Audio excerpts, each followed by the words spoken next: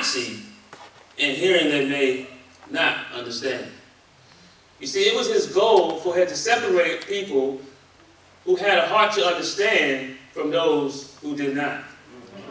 He wanted to separate those who were just hanging around for the free meals and the miracles from those who were actually after his heart. And it was these teachings, it was these parables that bothered the Pharisees. It, it, it, it caused them to be, to be full of strife and be full of anger because they couldn't understand, they couldn't grasp the concepts that Jesus was putting forth.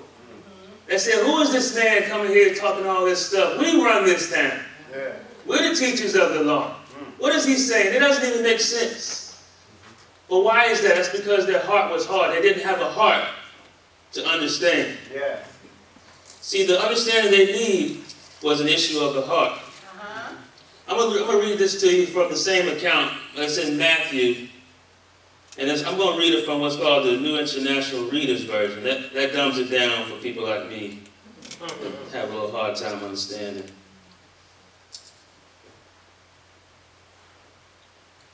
It says, starting with verse 14 in this same account in Matthew, it says, In them, the parables, the word, the words of the prophet Isaiah come true.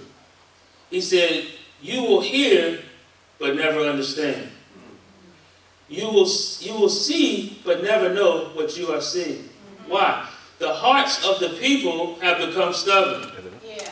They can barely hear with their ears. They have closed their eyes. Otherwise, they may be able to see with their eyes. They might be able to hear with their ears. They might be able to understand with their hearts.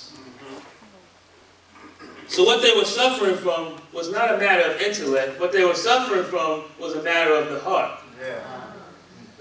The people that wanted this understanding were granted this opportunity because they had a heart to seek for it. See, when we read these scriptures, we read these parables, sometimes we have the misunderstanding that these parables were only broken down to just the 12. Uh-huh. But this same account in Mark, Mark chapter 4, verse 10 says that when he was alone, with his disciples and all those who were with him. It wasn't just his disciples, it was all those that stayed back with the disciples that he gave this understanding to. So this, this parable, all of these parables, the understanding that was sought after was sought after by more than just the 12.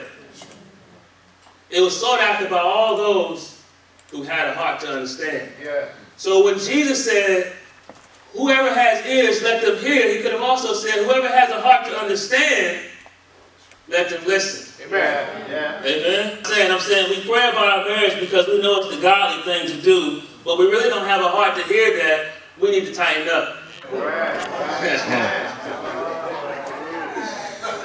what am I saying? I'm saying we pray about not having enough money. We pray, Lord, bless our finances, but we don't have a heart to hear that you're mismanaging your money.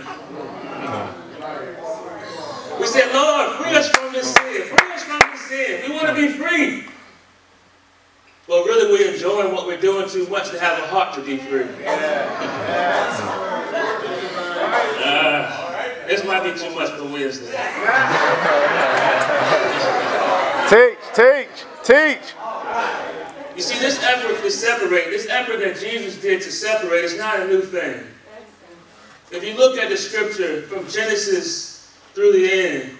That's a theme that the Lord has. He's always looking to separate those who are really with Him from those who aren't. Mm-hmm. Take an example. Look at Abraham. God allowed him to take Isaac all the way to the altar to be sacrificed. Only so at the end of the account he could say, Now, Abraham, I know that you fear me. Now I know whose side you're on. He said, well, how did God know before? He knew through his omniscience, but now he knows through experience whose side that Abraham is on.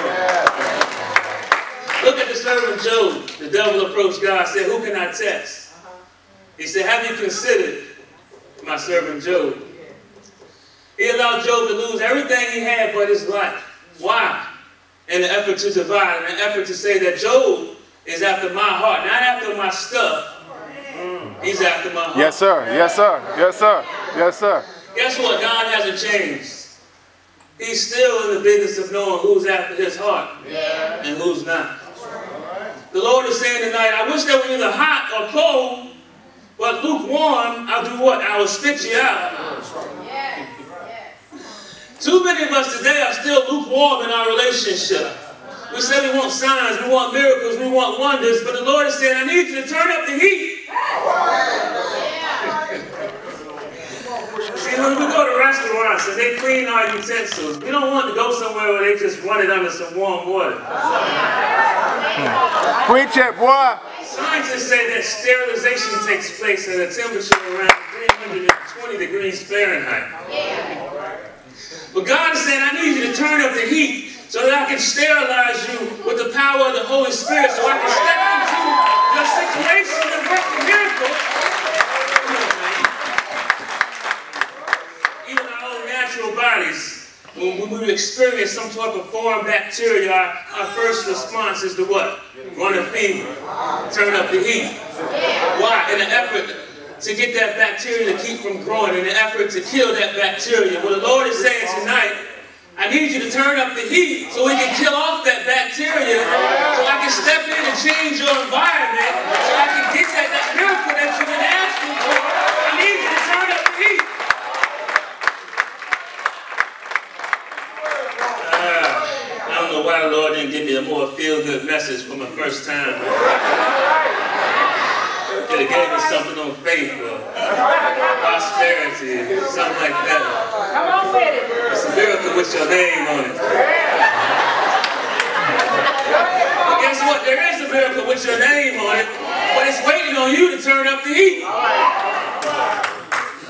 When we think about those on the wayside, our mind usually goes to what? Unbelievers, right? And unbelievers are definitely a part of this group. How many of us got saved two, three, four, ten times?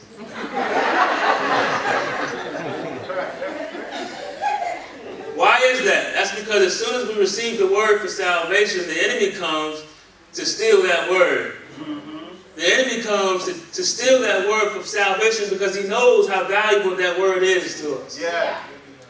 This is why follow-up is so important. This is why we have to help those new believers to really guard their hearts against the wiles of the enemy. Mm. This is why that person that you witness to on your job is so important that you follow up with them and help create that environment that's going to help them to grow. Amen. Mm-hmm. Amen. But there's also another group of people that fall into this category. And that's those of us that come to church, we hear the word, we shout, we cry, turn cartwheels. But before we even get home, we've forgotten all about what that word even was. Right. Right. How many of us have come to church sometimes and taken all the notes in the world, and them notes are still there when you come back next Sunday? Notes still in the same spot. Why is that? Why, why do we lose track of what the word was? Why do we forget so easily what it was that we were so excited about 15 minutes ago? That's because the enemy is coming in to steal that word. Mm. Mm. It's not just because we forget. It's not just because we're being haphazard. But there's a battle going on in the spirit to take that word that you received because he knows that word that you received, how it's going to benefit your life. So I hear you say, no, no, the devil ain't stealing nothing from me. Mm. Let me ask you this, how many times have you left and you got in your car and before you know it, you and your spouse is arguing about who left the toilet seat up? I almost fell in this morning. I forgot to tell you, I almost fell in this morning because you left the toilet seat up. Well, why you ain't make the bed before you left the house? I was going to tell you before service, but I, now I'm thinking about it. What is that? That's the enemy's devices. He's not just going to come up to, hey, stick you up. Put your hands up and come up for that word. That means spending time in the word. That means spending time learning under an authorized teacher of the word. We must take our time to grow our roots in the Lord so that we're anchored in the time of temptation. Amen. Now, if you're not in one of those first two groups, I know you looking around, nodding your head. Mm, I know he ain't got no roots. Look at her, her roots short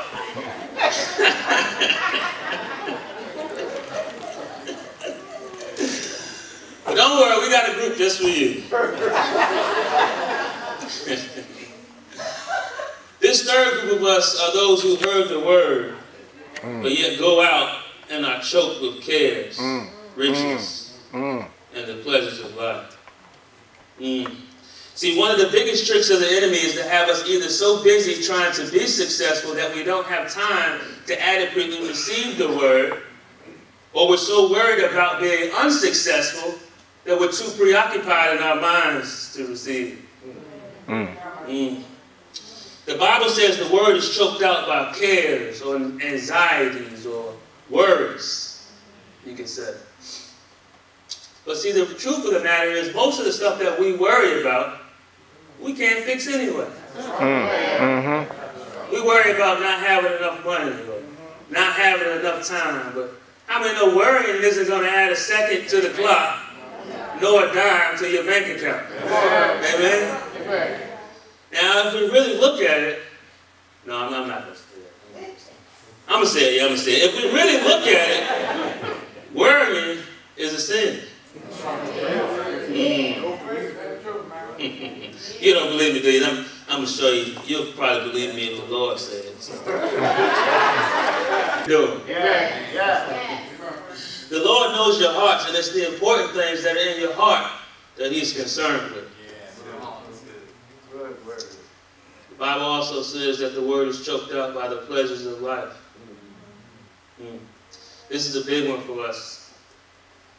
Entertainment is the biggest industry in America. We've got to be careful not to allow television, internet, social media, and all the other things that we do take precedence over becoming firmly rooted in the Lord. See, I'm a big sports fan. Big, big, big sports fan. I could probably stay up, you know, 24 hours all day long watching football and basketball. But as I've grown in the Lord, I have to understand that at some point I have to turn the TV off. I can't spend all of my time chasing after the next game. Amen. Hmm. How many of us men stayed up trying to catch that West Coast game? Next thing you know, it's 12 o'clock in the morning, 1 o'clock in the morning, trying to catch that late game. And we go to bed and wake up in the morning, our alarm goes off for us to pray, and what do we do? Snooze. Huh? How many of us ladies, we say, oh, I'm going to get to reading the word in just a few minutes. I just, I'm going to just finish this show. Next thing you know, three hours have gone by. Housewives of Atlanta that stole all our time. Let me move on. We must keep our priorities in check and make sure that our lives are in balance, that we're not spending too much time in the pleasures of life and we're adequately spending time building our roots. Amen. The word. Amen.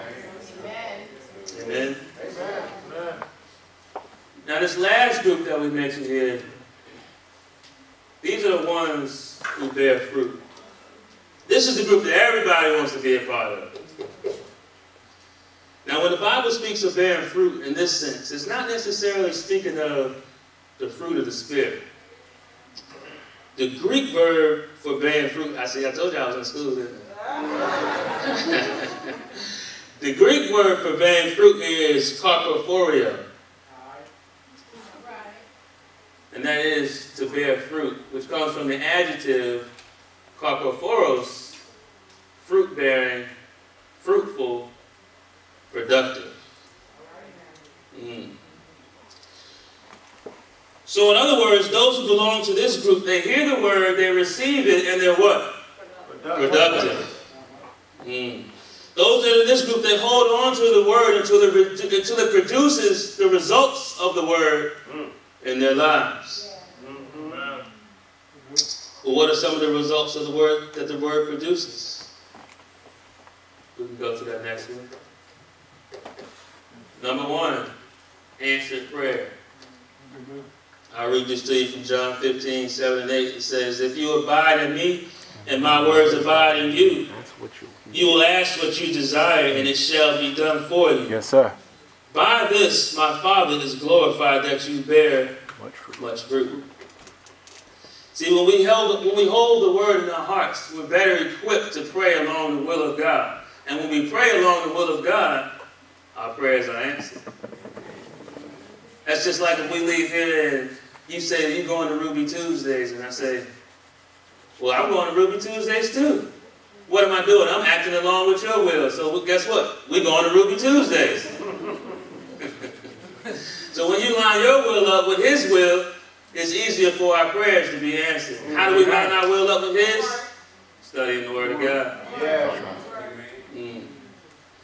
Let's go to that next result that the Word produces. Number two is victory over sin. It says in Psalms 119 and 11, Your word have I hidden in my heart that I might not sin against you. If we seek the Lord with all our, with all our heart and fight to hold on to it, we can live a life victorious over sin. Amen. Amen. Amen. Number three, the third thing is direction. Again, Psalms 119 and 105, it says, Your word is a lamp unto my feet and a light unto my path. Hmm. See, the word of God is full of direction, it's full of guidance, and if we meditate on it, God will tailor fit that to meet our specific needs. How many times have we come to church on Sunday and you say, Ooh, it sounded like the pastor was just speaking directly to me. He knew exactly what I was thinking. Why? What is that? That's the Lord fitting that word. Yes, sir. Yes, sir. Yes, sir. Right. Yeah. Yes, sir. Amen. See, the Lord will give us direction. He'll give us everything we need if we stay in the Word and we hold on to it in our hearts. Let's look at this last one I have here. Success and prosperity. We can all use a little bit of success and prosperity, right? Amen. Joshua 1 and 8 says, The book of the law shall not depart from, the, from your mouth, but you shall meditate on it day and night, that you may observe to do all that is according, all, according to all that is written in it. For then you will make your way prosperous, and you will have good success. The Lord, the Lord- has given us a roadmap to success, both naturally and spiritually. It's all found in His Word. We just have to be careful to make His Word our number one priority. Amen with it. The Bible says, seek ye first the kingdom of God and his righteousness, and all these other things.